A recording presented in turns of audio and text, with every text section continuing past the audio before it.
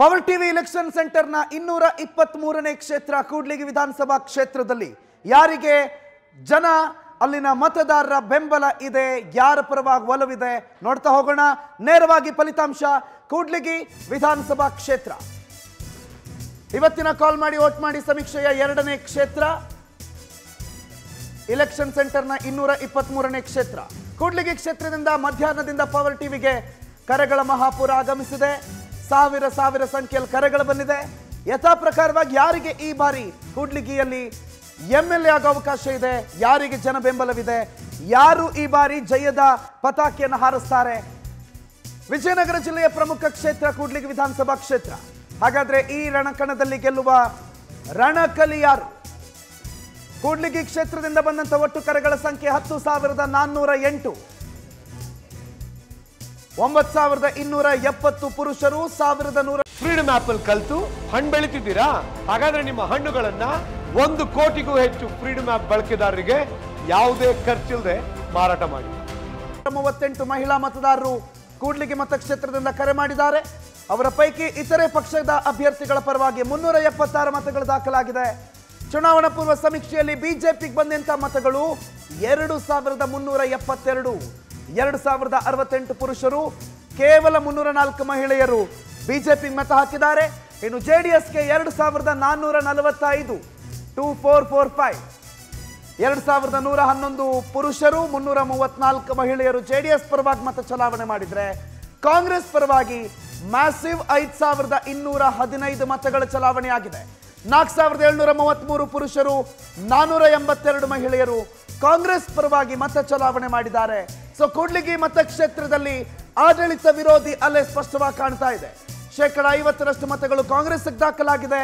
ಕೇವಲ ಇಪ್ಪತ್ಮೂರು ಪರ್ಸೆಂಟ್ ಮತ ಬಿಜೆಪಿಗೆ ದಾಖಲಾಗಿದೆ. ಜೆ ಡಿ ಜೆಡಿಎಸ್ ಇಪ್ಪತ್ಮೂರು ಪರ್ಸೆಂಟ್ ಮತಗಳನ್ನು ಬಿಜೆಪಿಗೆ ಸಮನಾಗಿ ಪಡೆದುಕೊಂಡಿದೆ. ಇನ್ನು ಇತರೆ ಅಭ್ಯರ್ಥಿಗಳ ಪರವಾಗಿ ಕೇವಲ ನಾಲ್ಕು ಪರ್ಸೆಂಟ್ ಮತಗಳು ಮಾತ್ರ ಚಲಾವಣೆ ಆಗಿದೆ.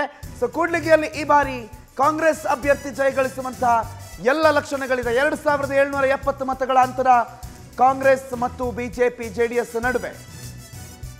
ಸೊ ಕಾಲ್ ಮಾಡಿ ಓಟ್ ಮಾಡಿ ಅಭಿಯಾನದ ಈ ದಿನದ ಎರಡನೇ ಫಲಿತಾಂಶ, ಕೂಡ್ಲಿಗಿ ಮತಕ್ಷೇತ್ರದ ಚುನಾವಣಾ ಪೂರ್ವ ಸಮಿತ ಫಲಿತಾಂಶದಲ್ಲಿ. ಜೆಡಿಎಸ್ ವಿರುದ್ಧ ಕಾಂಗ್ರೆಸ್ ಪಕ್ಷಕ್ಕೆ ಮುನ್ನಡೆ ಇದೆ. ಹಾಲಿ ಶಾಸಕ ಬಿಜೆಪಿಯ ಎನ್ ವೈ ಗೋಪಾಲಕೃಷ್ಣ ಅವರಿಗೆ ಮತದಾರರು ಶಾಕ್ ಕೊಟ್ಟಿದ್ದಾರೆ.